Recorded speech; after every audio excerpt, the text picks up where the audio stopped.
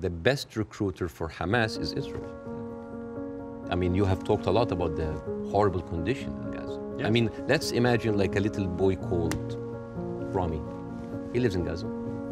You know, he have a horrible life, but like you know, it's like it's not that bad. I know he has a cousin in the West Bank. He's living a good life. He wake up in the morning, and he found out that he was kidnapped by three settlers. He was burned alive by kerosene, and he was forced to drink the kerosene. His name was Muhammad Abu Khudair, and that settlers did that to him in 2016. Said, all right, you know what? I'm just gonna leave.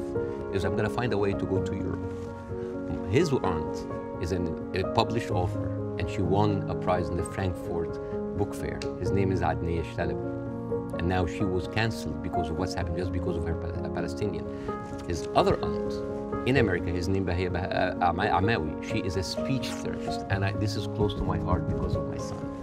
And she was uh, fired because she did not want to sign the for government con that said that you cannot join BDS, which I don't understand. Why do people choosing to protest peacefully by not buying goods from a certain country? Why would the United States make that its own issue? So.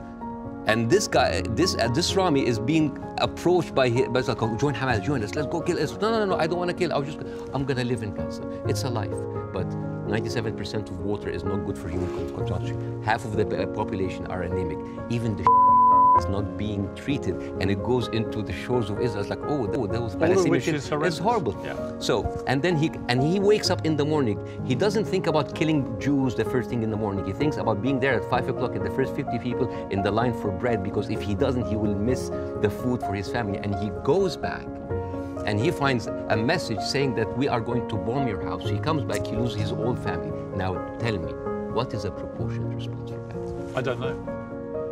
I don't know. You cannot create terrorism and then you. uh, I, I don't know. I don't. I don't know. Is the answer. I don't know. Uh, I, I uh, don't know. I don't. I don't know. Is the answer.